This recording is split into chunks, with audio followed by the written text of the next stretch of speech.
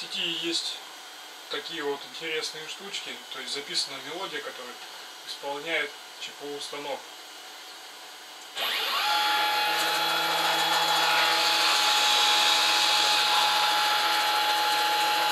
Сейчас он едет в нули.